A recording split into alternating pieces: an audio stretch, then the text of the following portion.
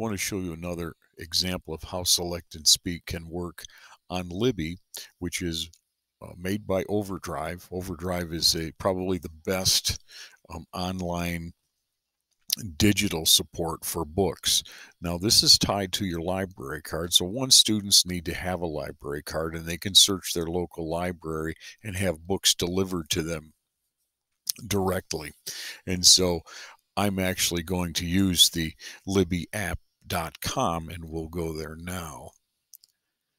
Once after I've logged in to Libby um, and put in my my library card, I have um, three different books.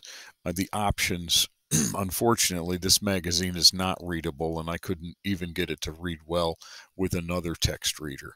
So magazines, they need to work on those. But I have uh, two books here, um, and I can read it with my Kindle, which I know when I select that, I go to Amazon and I can read now in the Kindle app.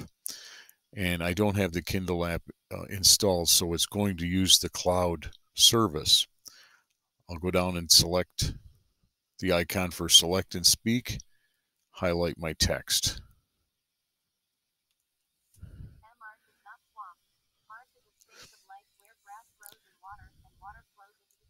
You get the idea. So it works very well in the Kindle in the Kindle app version from the library.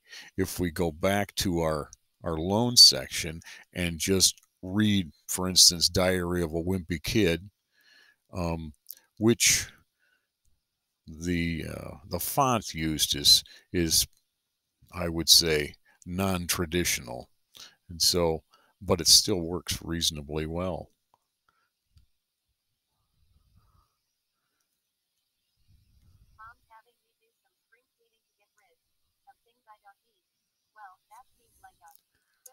So there's the uh, how you can use um, select and speak to really make um, reading quite pleasurable for students.